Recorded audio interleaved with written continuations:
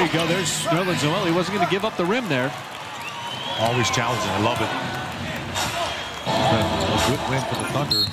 There goes all the way to the bucket. Almost a chance at a three-point play. A lot of things have gone right here from the start of this ball game.